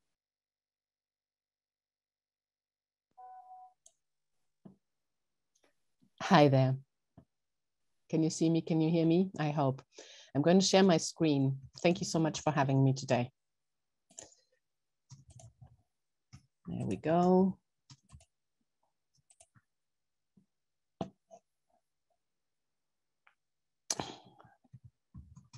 Okay. So this panel was asked particularly to consider impediments to agroecological transition. And, and to do so, one of the things that, that I think we really need to look at is, is funding, money. And, and what I want to do today is, is show you some data on, on what money flows actually to agroecology, what, what actually goes. So despite an increasing recognition and a plethora of international reports, organizations and platforms, all pointing to agroecology as a crucial part of the solution, we have clear evidence that actual financial support for an agroecological transition remains really minimal. And in 2018, Michel Pimbert and I concluded um, our first study on UK aid. Um, and since then, there have been a number of other analyses focusing on development aid from European countries. And as you can see here, the, the red, the, the green slice refers to funding that contributes to an agroecological transformation. And with the exception maybe of Switzerland, funding for agroecological transformation remains really very, very small. And earlier this year, there was another study that was published um, on Dutch ODA, um, development assistance, which shows again that only 4% of Dutch aid flows are supportive of agroecological transformation. So at this stage, you might potentially ask what actually counts as supportive of agroecological transformation and what doesn't. So before I throw another handful of pie charts at you, which I will, um, I'm just going to show, want to quickly explain that, that all of these analyses make use of Stephen Gliessman's five levels of food system change, which many of you might, will be familiar with. And so this moves from increasing the efficiency of industrial practices and then via substituting less harmful practices and redesigning the agroecosystem to building an equitable and sustainable global food system. That's the sort of trajectory. And, and these analyses consider projects that adopt efficiency-oriented approaches at level one, so for example, sustainable intensification, to represent conventional agricultural approaches. Efficiency improvements are really of integral concern to conventional agriculture and they cannot be said to contribute to an agroecological transformation. The projects at level two which focus on substituting environmentally harmful inputs with ecological alternatives or practices are considered a sort of intermediary step away from conventional agriculture towards transformative agroecological change. And only projects at level three or above fully contribute to transformative agroecology. Okay, so that should give you a little bit an idea of the, of the concept we've been using. Nina? So back to some graphs, yes? Could you speak just a little bit more slowly for our translators? Yes, sorry Thank about you. that. I'm rushing through because I want to um, impart all this information. Um, so this chart analyzes the Green Climate Fund's agricultural portfolio. And you can see again that we're looking at very small amount of funding, or maybe we should actually say that we're looking at overwhelming support for the industrial agricultural paradigm um, and the, the GCF, in case you don't know, is responsible for funding climate adaptation and mitigation in developing countries. So you, that is maybe quite disappointing. And the picture looks similar in the case of the agricultural funding made available by the Bill and Melinda Gates Foundation, as well as the money received by and spent in Kenya on agricultural research and development. Again, the green slice denotes agroecological support. Um, and, and this is the study by BioVision and IPES Food. And finally, just one more detailed look at the EU money that is being spent. And again, you can see that none of the money that was spent in the three years between 2016 and 2018 via the FAO via the International Fund for Agricultural Development and via the World Food Programme is fully supportive of agroecological transformation at this level three, at this fully transformative agroecology. The 2.7% that were made available actually only supported projects at level two. All these studies underline the necessity of shifting both international development assistance and climate finance away from supporting an agricultural sector that is geared towards large petrochemical dependent agribusiness. and shifting it away from that towards an agroecological transition. I don't know if I have time to conclude with a last final thought. Very quick. Yeah. so um, there is, in order to be supportive of an agroecological transition, an increase in funding needs to be backed by changes in the mode in which this funding is made available to agroecology. So, for example, some studies show that public-private partnerships are not efficient ways to finance smallholder agriculture. And large grants are not the solution either. So what we need is a divestment in industrial agriculture and corporate food systems and a complete cessation of public funds in support of large agribusiness. Thank you very much. Thank you, Nina. Um, so next we have Francesco Ajena. Um, and I understand it's his birthday today. Is he around? Thank Please you. tur turn on your video. So I'm uh, trying, but I'm unable. Oh, okay. Well, it can be without the video. Uh, So Francesco alright. is an international consultant uh, specializing in agroecology. He currently works at the International Fund for Agricul- or Agricultural Development, IFAD, and UNFAO. He's also, uh, since 2017, worked for the uh, as policy advisor for the International Panel of Experts on Sustainable Food Systems, IPES Food. So, Francesco, with all of these different roles, um, you've been trying to advance agroecology. What are your recommendations to policymakers? Okay, thank you, thank you, Karen. So I'll try. it's a very complex topic, and, and I only have four minutes, so I'll try to go through it uh, as quickly and clearly as possible.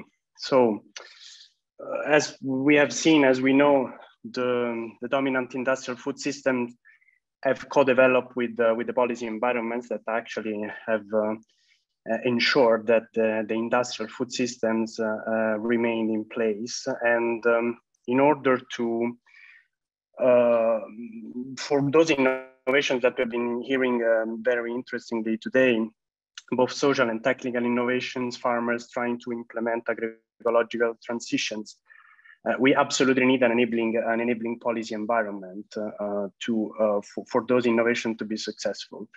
But nowadays we, we have everything but uh, an enabling policy environment. We have exactly the contrary, which is a policy environment that is locking the food systems into uh, the, the industrial models, which as we know are not delivering any of the urgent global challenges that we have.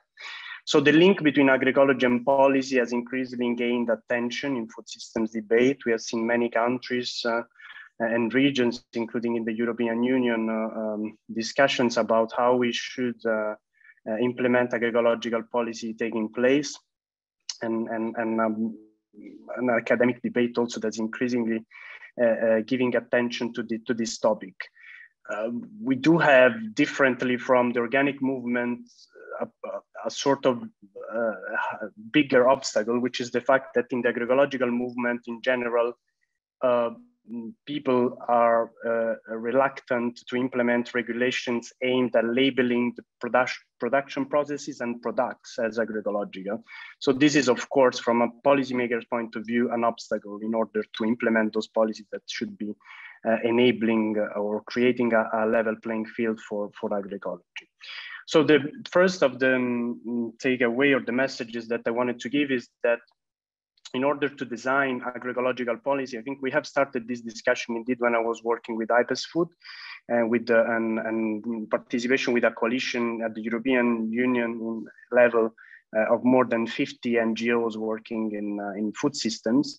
Uh, we have started these discussions and we have come out with a very basic but important, I think, consideration is the fact that in order to design agroecological policies and agroecological transformations from a, a, govern, a public governance point of view, we should start from what we have. And what we have are the 10 elements of agroecology that have been voted and adopted by, by the FAO Council and the principles also that are very clear as, uh, um, as uh, um, explained and described in the HLPE report uh, um, on, on agroecology and, and, other innovations. So the 10 elements that, that many of you or all of you already know are the, define the characteristic of agroecological systems, but also uh, from an, uh, an, an agro agronomic point of view, but also the social characteristic, the economic ones, and they represent a promising tool to design the policies uh, that, that should be or, can be uh, um, creating that level playing field and enabling policy environment for, for agroecological innovation to spark. Another important thing which um, uh, I have been researching on and, and discussing also uh, with with uh, with FAO is the um, uh, importance of promoting uh, integration of the different policies. And this is something that also uh, Food has been working on in 2019, indeed, with, uh, with uh, an important report on for a common food policy for the European Union, a sort of integrated food policy package approach to transform European food systems. Agroecology promotes the integration at different levels, from the farm scale to the landscape, but I also think ultimately, ultimately it promotes the uh, integration also at the food governance of the food systems level, and promoting integrated food policy. It's really something that comes out from the, the whole approach, systemic approach that agroecology has.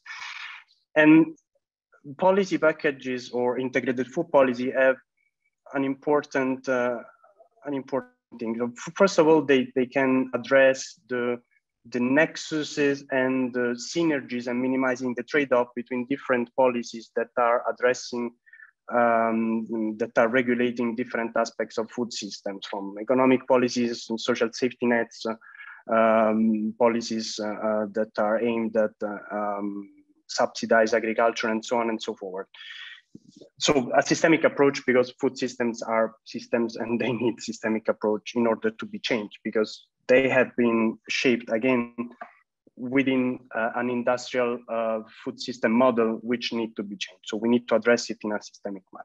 But from a, a, policy perspective, I think what is also important to mention, and there has been, I'll be putting a link in the chat later, and, and I think a very interesting article in Nature Food a couple of years or one year ago uh, regarding political feasibility. Political feasibility is very important. I, I have been working as an as a, as a policy advisor for a Green Party, which was very much in favor of, of an agroecological transition. But you still have, even when we are in favor, even when agroecology is a part of your program, you still have the problem of, of do you have, do I have the political capital in order to uh, to implement uh, certain uh, reforms that are very ambitious in most of the cases, because we really need to shift uh, and somehow drastically towards uh, sustainable food systems. Policy packaging have been proven in that study to be in um, to Francesco, be enhancing. The, sorry, we're going to need you to wrap I'm going up. To, I'm going too far. Yeah, sorry. So political feasibility, policy packaging, and, and having a systemic approach at the policy level can really increase the political uh, feasibility. And then, so as been mentioned, from a policy perspective, where are we getting the money in order to, to implement those reforms? There has been another important report recently published by FAO, UNDP, and UNEP that flagged how much, but we already knew that, the money going into agricultural support is actually a wrong investment and how much do we need to repurpose that. So we do have the money to implement those policies. We just need to, uh, to, to, to, to, change, to shift the focus and, and investing in, in, in food systems policy approaches can be a very uh, promising way to repurpose all that money. Thank you very much. Over. Thank you. I feel terrible cutting people off because these are all such great presentations. Um, but we will be sharing the recordings and, and hopefully we can all be in touch in the future as well. Um, our next panelist is Timothy Wise. Uh, Tim is a senior advisor at the Institute for Agriculture and Trade Policy and also a senior research fellow at Tufts University's Global Development and Environment Institute, where he founded and directed its Globalization and Sustainable Development Program. He also served previously as executive director of the US aid agency Grassroots International. Tim, you were very involved in a recent campaign asking governments to redirect funding away from AGRA. Can you share some of your thoughts on that campaign? Sure. Thanks, Karen. Um, thanks to everyone for these uh, amazing presentations. Um, such a collection of of impressive and um, and diverse perspectives uh, and experiences. Um, it, it, to me, it really represents the the diversity that we're all looking for in the food system as well. Um, the the briefly the I, I think um, going directly off of what um, Nina was presenting, um, the the research that I've done and some of the work with um, African civil society organizations such as Million Belay and the um, uh, Alliance for Food Sovereignty in Africa, the Southern Africa um, Faith Communities um, Environment Institute, um, it has focused on the the need to disrupt and um, and redirect the funding that is now being devoted to um, to industrial agricultural systems. In Africa that looks a lot like uh, the Green Revolution in Africa, um, the Alliance for Green Revolution in Africa, funded mainly by the Gates Foundation, but also by USAID, by uh, UK Aid, by the Rockefeller Foundation,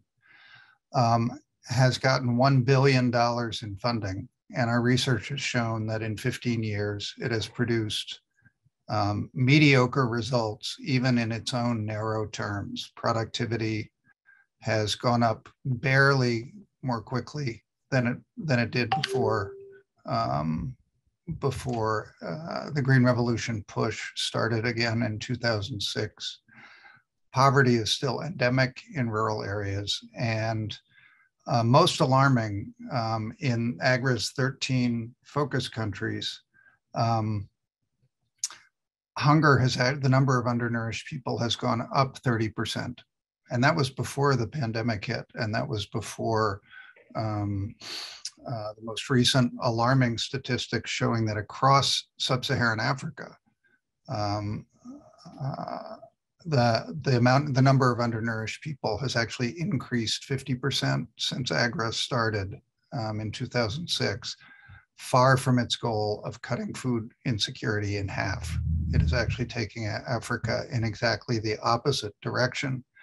What makes this um, so relevant um, to uh, as an as an obstacle to the to agroecology, which some of the civil society groups such as uh, AFSA have been advocating for many years, is that it's very difficult to open a lane in government, um, both a policy lane and um, a and and a funding lane for supporting agroecological processes if those uh, if the green revolution approach is gobbling up all of the resources and it does and the donors are not the only or maybe the biggest problem here. African governments themselves are spending huge amounts on um, subsidizing the purchase of exactly these green revolution inputs, uh, commercial seeds and fertilizers. The government of Malawi in some years has spent 60% of its entire agricultural budget on um, seed and fertilizer subsidies those for subsidies end up going through farmers, but they end up going directly, indirectly to companies. Monsanto is in now Bayer is the largest provider of um, of commercial maize seeds in Malawi. Um, they are the beneficiaries of these policies, um, which sort of brings me back to the the obstacles um, to the implementation of agroecology. Um, we need to um, uh, to interrupt this commitment on the part of donors and governments to this failing model, and our research shows it is failing.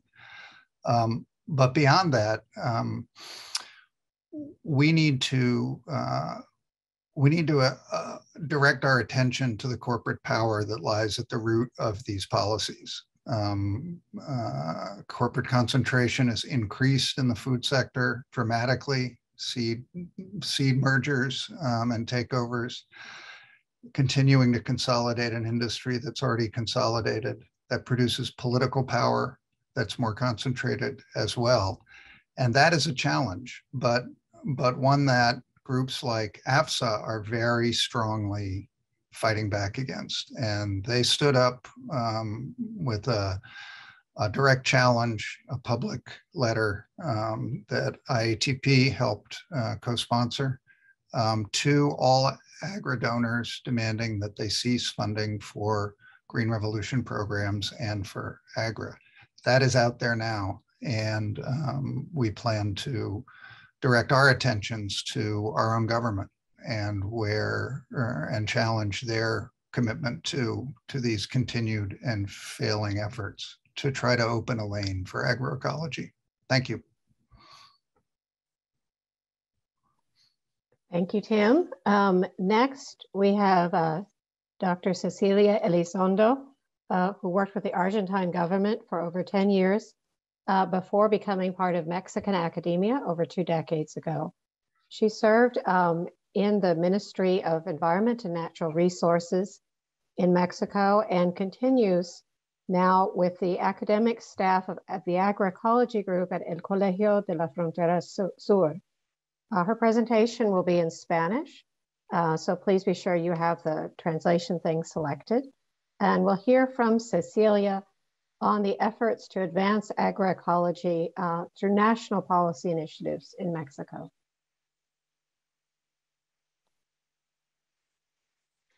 Thank you. And just to clear things up, in the translation, it said that I was Minister of the Environment, but no, I was Assessor Coordinator. It's like Chief of Cabinet of Environment from 2019 to 2020, just to clear that up.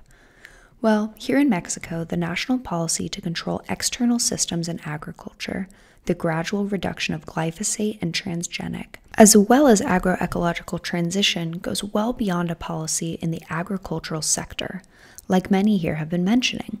It's not just about a technical piece or a single sector. Here I make a parenthesis to also mention that many may have heard, like Tim was saying, the importance of the strength of civil society to form a resistance against all those all these corporations. There have been articles in the press which compare it to David versus Goliath, the topic of winning before Mexico's Supreme Court of Justice, the topic of the ban, of keeping the ban on transgenic corn, it is a struggle. It was a struggle by this organization called Collective Demand Against Transgenic Corn, and it was almost a decade long struggle. And there were over 50 people involved in this group and who led this resistance. It started in 2013. But it is also true that the actual circumstances offered by the federal government in Mexico now, hmm, has also helped make this happen because previously there was support for these corporations, and I don't know what the result would have been if said control by these corporations was still on the government. So, since the start of this administration in February 2017, a group was formed an intersectoral group of health, nutrition, environment, and competitiveness, with a goal in mind to transform the food system. Like the name of this webinar, from production to the plate, from the fields to the plate. Aware that the present system is completely unsustainable, aware that it caused the degradation of natural resources and its ecosystemic services, that it contains commercialization and distribution mechanisms, and its supplies are exclusionary and inefficient. And in addition, it generated a malnutrition epidemic as a consequence to the health of the Mexican population due to the high consumption of highly processed foods and sugary drinks. This group has different departments related to the food system the Department of Health, the Department of Labor itself, the Council for Science and Technology, and they also form a part of international bodies. It also includes the Institution of Indigenous People. And in these three years, that Secretariat of Environmental and Natural Resources has already been working. It has, on one hand, managed to create the federal law to protect and promote native corn, which is why I mentioned that there were circumstances which provided the judges in the Supreme Court of Justice with a solid legal foundation to tell the corporations no, that there is a law which promotes and protects native corn, which was approved in 2020. On the other hand, we also have the presidential decree to gradually and progressively substitute and ban glyphosate by 2024 and in addition, it bans the entry of transgenic corn. There are already two fundamental documents to offer a legal basis so the Supreme Court could rule that way. In addition, there's the labeling in front of food products, which was approved in November of 2019 and went into effect in October of 2020. And in that short period of time, less than a year, companies that produced ultra processed foods changed more than a thousand formulas for their food products so they wouldn't have so many labels, so things can be changed. And that is already a direct gain from this measure of adding front labeling. Additionally, there's the national strategy towards an agroecological transition. And all this about there being no support for agroecology, we know it, and we have fought it in the Council for Agri Food Security, so this could happen. In the documents of policy recommendations on agroecology, we were not successful. But here, well, the Department of Agriculture is supporting more than 2 million farmers, field workers who are working towards an agroecological transition. In addition, the Sembrando Vidas program, Planting Lives, is no longer benefiting any toxic agrochemicals in the production of plants. They not only produce plants and trees, but also agroforestry systems, coffee systems, systems of different products which are being supported. There's a training platform to lead to the agroecological transition, which just came out about a month ago which is part of all these institutions the Department of Education, the Department of Economics, the Council for Science and Technology, and several other institutions. And in this platform, they can. It's a free platform that is not only for public servants, but also for the general public to use. Additionally, there is a campaign which starts with the President of the Republic for healthy nutrition, also with day workers on the topic of COVID. They have worked with the Department of Labor to improve this. There is a course on healthy living in schools, and then, as we can see, it's a joint effort. The Undersecretary of Mexico, Victor Suarez Carrera, in the last meeting, the 49th of the Food Security Council, he made a clear call that it's necessary that we have a global regulatory framework transformation and that we use the example of Mexico to see what can be done globally. And if we don't make that regulatory framework for the food systems throughout the whole world, we are not going to successfully change this infamous system which we have and comes with a recharged green revolution. I really wish we had more time. And in fact, I would encourage uh, if the speakers can stay on just a few minutes after the hour, we'd like to answer at least some of the many great questions that have come up. So our final speaker is Alberta Guerra from ActionAid, uh, who will, Alberta is Senior Policy Analyst with ActionAid USA, and leads uh, ActionAid's advocacy at the UN food agencies. Um, we'd like Alberta to talk about recent discussions at the, the Committee on Food Security on the definitions of agroecological principles and um, how you see that playing out as we move forward. Thank you. Thank you, Karen. And uh, thank you to the participants. Um, uh, well, first of all, just to to to um, to say that ActionAid is part of the organizations that actively support agroecology, of course. So thank you for inviting me. Uh, it's a really honor to be in this panel. Uh, and uh, and ActionAid was also very supportive of all the process um, that uh, took place within the CFS in the negotiation of the policy recommendations. And um, uh, so let me start with, uh, just trying to organize my intervention to keep in the in, in four or five minutes.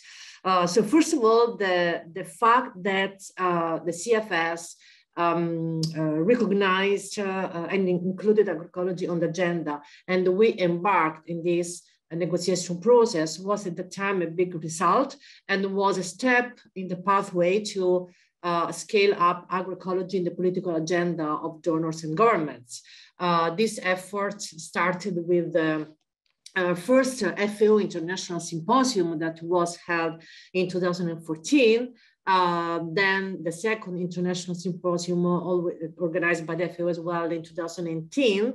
And then we got this uh, agroecology uh, in the agenda of the C Committee on World Food Security um, uh, work plan. And, and that channel was, on the one hand, a big result because this um, showed the increased um, interest and the recognition uh, that agroecology uh, had to be dealt with uh, in the highest UN space. On the other hand, um, since the beginning, I mean, it started with many, many challenges because uh, uh, US and other agri-export countries first tried to block this decision and to just prevent CFS from uh, tackling and discussing agroecology. But then when, the, uh, when this proved impossible, what they uh, we did and uh, unfortunately managed to, to get in was to um, uh, address agroecology and other um, uh, agroecological and, and other sorry, innovative approaches. So basically the, the approach they adopted was to, okay, let's not focus on agroecology only, but uh, let's try to associate agroecology with other practices, which uh, all we know are not sustainable.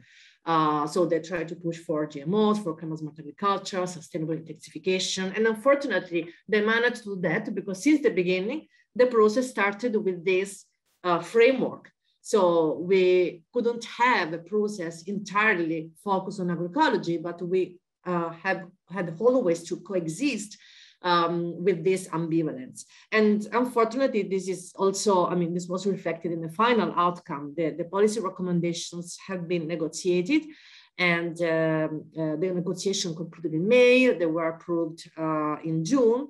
Um, and even if there are some good elements, uh, what, uh, what is there is that first, uh, it's not as progressive as we have expected uh, mm, as a civil society. Um, and in some parts are um, might be really even dangerous for advancing agroecology, especially in the language around agrochemicals.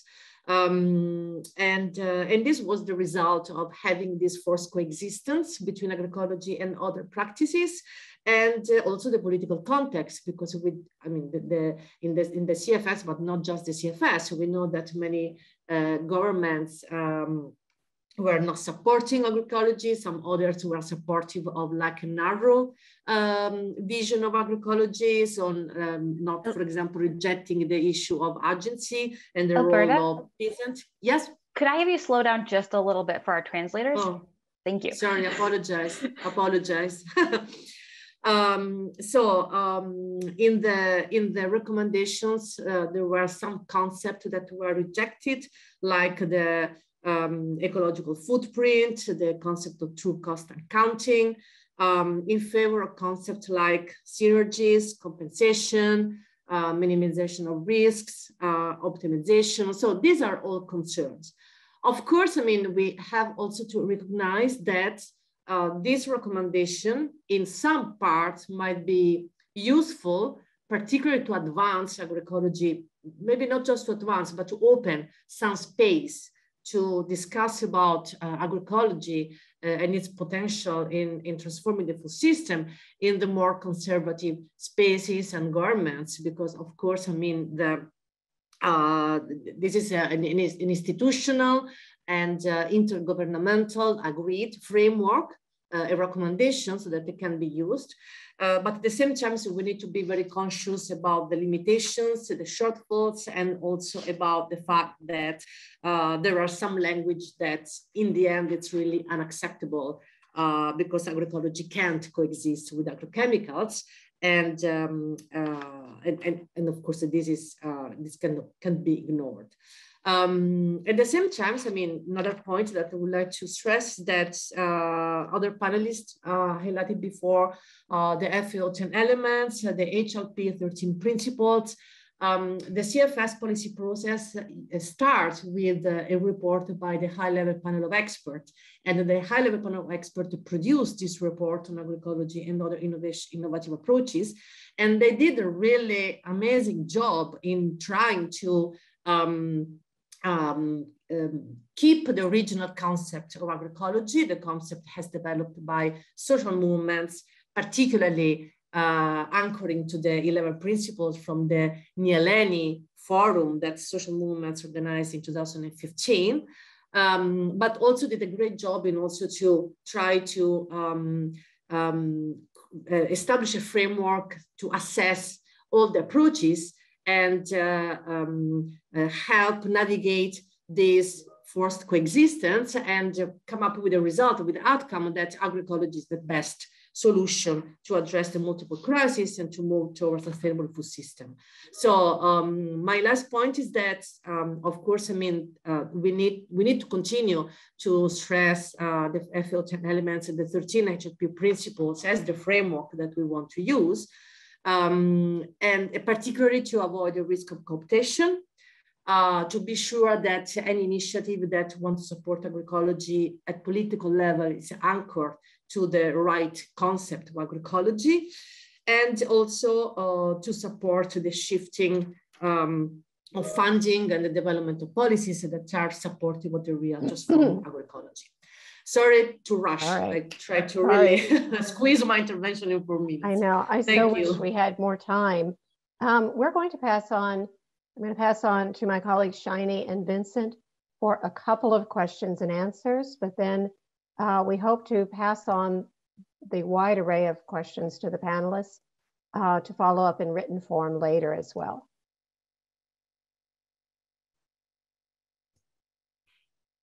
Hello, everyone. Uh, thank you for uh, this uh, being part of this webinar and, and, thank you to stay till the end. Um, Shiney, I will give you the floor for the first question, I believe. Thank you. Yeah, delighted to be joining on camera with everybody. Uh, and for this, this last part of the webinar, uh, and happy to be joining uh, once or here. So we have very little time left to answer more than 23 questions. So clearly we won't be able to go through many of them. Uh, just take a couple of them and uh, I was just thinking that many of the speakers have identified corporate power as a big challenge. And I see that one of the questions specifically deals with that, where it identifies the from Walter Pengue. He says that one of the main threats to agroecological movement is uh, co-optation, uh, where agroecology is emptied out of its holistic content, especially taking only one part. And it, it is absolutely true that, uh, that this co-optation at that time, it basically pays, pays maybe a little bit of attention to the biophysical aspects and leaving out everything else. So the field of agroecology has been evolving over the decades because of the open-mindedness of those engaged in the study of it and those engaged in the practice of it. And I feel that those trying to co-opt the term seems to be stuck in the 60s or even earlier, where it was basically about biophysical aspect. And, you know, it is definitely shows the close-mindedness of the, the community rather than anything else, I, I feel. Anyway, so today, the, as the panel one showed, uh, people were talking about, agroecology has evolved to, at a time of this increasing global food insecurity, uh, as a solution to help multiple crises. And so the question from Walter is, how do the speakers in their countries deal with this co-optation, given uh, companies, governments, and other sectoral movements, or um, and even FAO and UN itself? What strategies do we have to sustain it and not fall into the trap of uh, getting co-opted, agroecology getting co-opted? And so a number of people over here can um, answer this. Maybe I will ask Marcia from panel one to answer this question. Thank you. Marcia, yeah. Thank you, Shiney. Yes, and yeah, many others have a deep experience in this. Uh, yes, I, it's a very important question. I would say that we cannot cede our public policy spaces to these corporations. And so we need to organize and call out and reject where we see this corrupting influence happen. So as I've mentioned and dropped into the chat, there are ways that we are organizing PAN as well as many of the organizations on this call have joined us in a global campaign to stop the UN FAO's alliance with CropLife International. And it is not just about stopping pesticide company influence at the FAO, but that is really emblematic or symptomatic of what is happening we are seeing happening in across the UN in many spaces. So it's important to make clear, to draw a line in the sand, so to speak, and uh, expose that this is going against all the expressed needs um, in violation of the human rights uh, that we've been talking about. At the same time, I think it's very important that we, while we fight these battles, that we also build up from the ground up and support the local transitions that are happening, that we support local farmers, that we support workers, campaigns for workers' rights. And we can do that by, you know, both organizing at the local level. There are some very exciting um, developments uh, with uh, very participatory democratic food policy councils. Um, for example, you can look up what's happening in Valencia, Spain. Um, there's work happening at the provincial and municipal levels in many parts of the of the world. So building up and being in solidarity with farmers and workers in the food system to defend their rights and to you know, invest our own resources, you know, as mutual aid, as local to local. Um, we cannot wait, as I think someone mentioned uh, in the chat, for these global policy changes to take place. We need to build um, together um, relationships, one-to-one, -one, direct community to community, and at the same time, we still need to expose um, these these um, what is happening in these spaces in the for for someone based in the United States here on Turtle Island. We also have a responsibility to challenge and stop our own government from interfering in the sovereign decisions of countries like Mexico um, and the, the forward attempts and, and efforts by, say, Senegal to promote agroecology and Tim Wise has written quite a lot about this. So we have um, many ways in which we can engage and um, we have a responsibility to also uh, interact with our own policymakers at local and national levels. And also just one last thing, we do need to stop this double standard by which um, northern industrial countries in particular are exporting banned pesticides to the global south.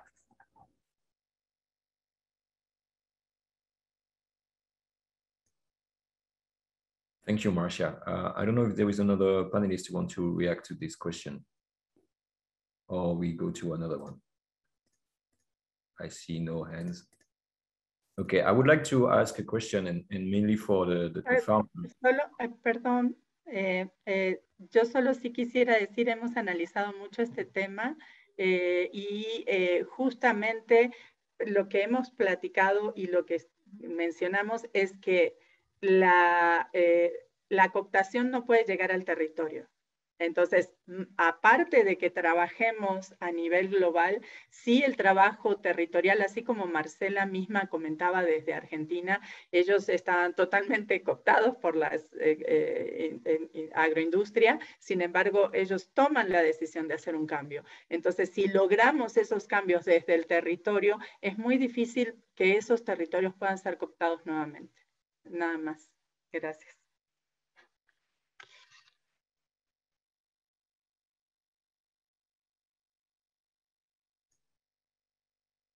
Thank you very much. No other panelists wants to react to that? No. Okay, I would like to ask another question. And first, I, I think it's it's for the for the farmers um, in the chat and in, in the QA, Q&A's uh, panel, um, there was some question about how can we engage more people in agroecology, because one of the main elements for farmers is to get money, you know. Uh, so uh, how can we make them more uh, engaged into agroecology because agroecology connects to other issues that maybe they don't know. And that's linked to another question that how can we um, make the youth engage into agroecology?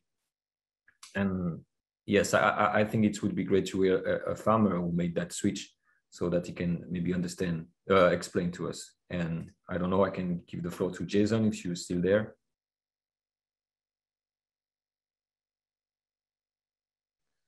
I am, I am. Um, I'm sorry, could you restate the question? Was I was saying, okay, sorry. I was saying that in the chat, many people were, were saying that how can we make, how can we engage more people into agroecology? Because one of the main elements for a farmer at the end, it's still money. And, and so agroecology is still not competing, I would say, uh, or it's complicated to, to get the, that money. And the other question is how to, how we can, can we make the, the youth engage into agroecology? Because if we want to make the switch into a world where agroecology would be the, the main uh, approach to, to food system, we need to, to make people engage into it. Thank you.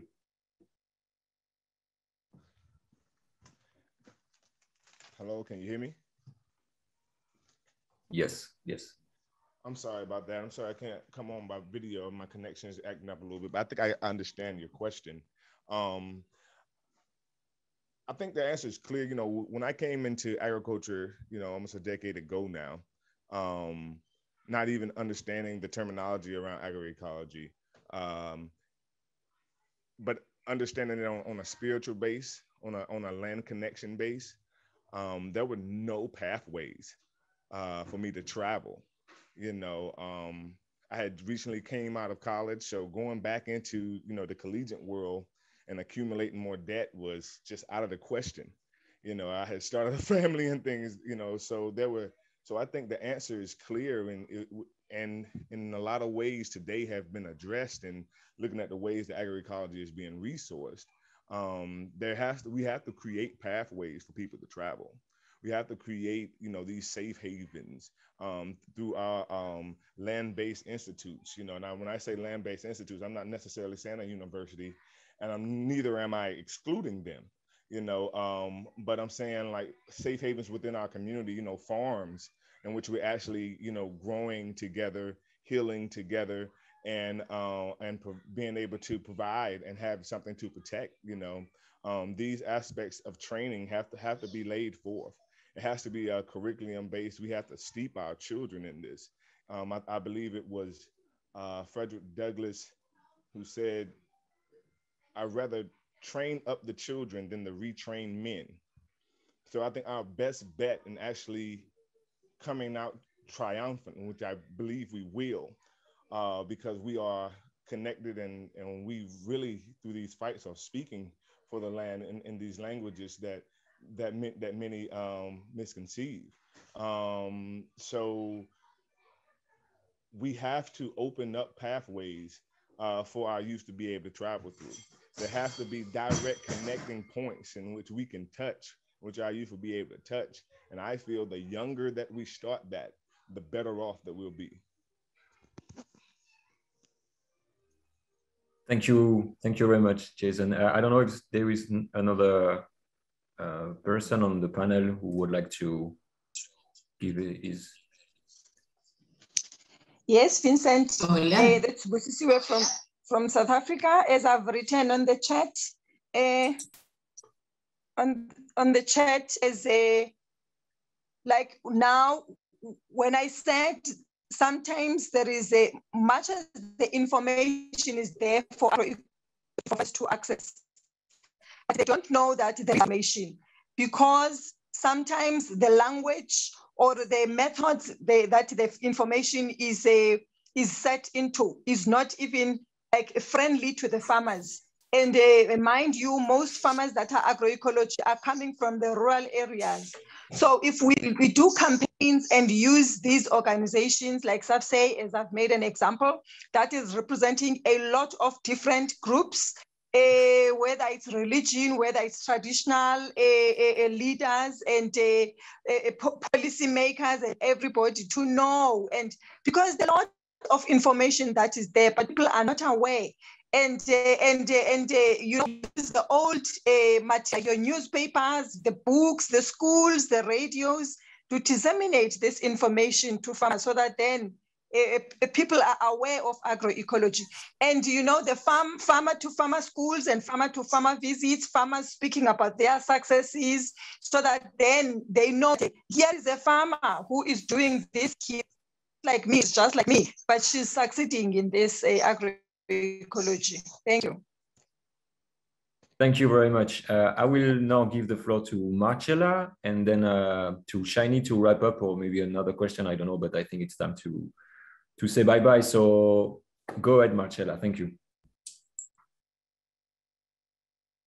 Sí, lo que mm, quería reforzar eh, en el concepto es que los agricultores eh, es bastante difícil que cambie porque son bastante conservadores y me parece que todo el accionar, digamos, por supuesto que sobre los agricultores también, pero trabajar mucho sobre los consumidores que realmente van a ser los que van a empezar a, cambiar, eh, a elegir, digamos, qué alimentos consumir y a exigir alimentos consumir. Y, bueno, y por supuesto todo lo que tenga que ver con la educación, con la información, con el conocimiento y con la toma de conciencia en la calidad de alimentos que queremos como, como individuos.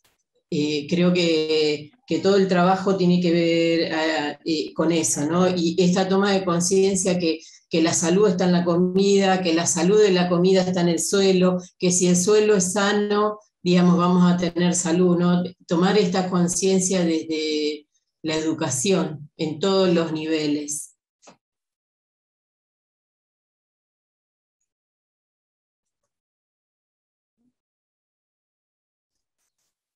Thank you. Thank you very much.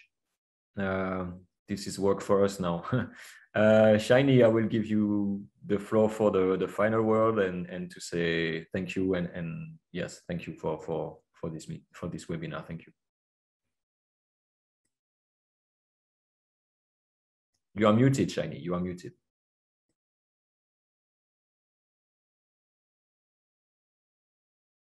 Oh, yeah. yeah. Sorry. Hi. We have ran over the time. It's uh, 20 minutes past. We had budgeted for 15 minutes past, but this is way too long. So we are cutting down on a couple of things. I had hoped to ask at least one more question. There was on funding, and I don't, I, I don't think we should go into that, but we will uh, definitely get to all the questions and share the answers with all the participants. We would uh, write it up and share it as a document. And both IATP and CIDSE, I would really love to thank all our panelists and presenters, and thank you for attending today we have recorded the webinar and we'll send out a follow-up email in the next few days uh, with a link to the recording and uh, the answers to the questions. Thank you so much. Have a good day, everyone. Uh, good night, good morning, wherever you are.